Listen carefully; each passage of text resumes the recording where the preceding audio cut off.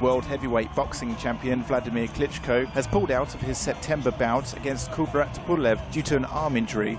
Ukrainian fighter Klitschko had been due to defend his titles against the undefeated Bulgarian. The fight will be rescheduled for later this year in Hamburg, Germany. 38-year-old Klitschko has won 62 out of 68 bouts with 52 knockouts. He's been unbeaten for 10 years, winning the WBA, WBO, IBF, IBO and the ring heavyweight belts.